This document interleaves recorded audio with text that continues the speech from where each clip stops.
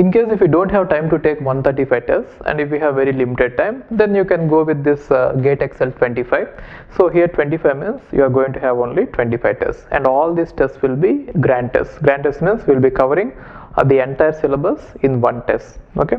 So my suggestion would be to go with 135 tests we have time. If you don't have time and you know if uh, if you are not able to uh, get any time for extra preparation also then you can go with 25 tests in case if you have time always go with 135 because there you will be able to learn more more concepts. So in you know if you just want to practice you can go with this uh, 25 tests. Now this 25 tests also we have divided this way. So first 10 tests will be at a basic level. Now these uh, basic level tests will cover all the topics or the entire syllabus in one test but then they will just be uh, at a level which will be helpful for you to uh, you know go through the topics or uh, brush the topics once. Okay? In case if you are going to start your preparation freshly and if you don't remember the topics well then these first 10 tests will help you in order to revise all the topics once. Okay? Just you can consider it as brush up.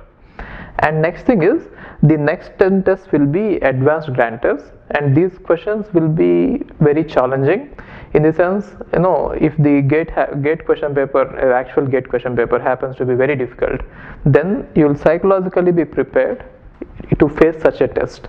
So here in the advanced test we are going to give you the questions at a level which is very very high compared to the normal gate questions. Okay?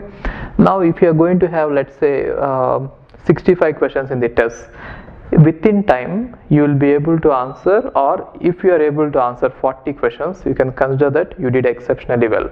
So don't worry if you are not able to answer all the questions in this test within time. Just think that we are preparing for the you know toughest exam possible. And the next one is uh, the mock tests these are conducted in january just before the exam.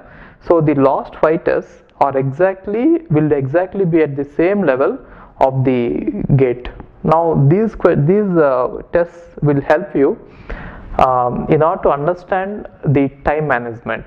Now if you are able to answer all these 65 questions and you should be able to answer them. Within time you can understand that you will be able to do well even in the gate exam considering that it is of average difficulty. Right? In case if the question paper is going to be very very difficult then you have already prepared yourself here in case if it is of normal difficulty you have already prepared yourself here. Okay?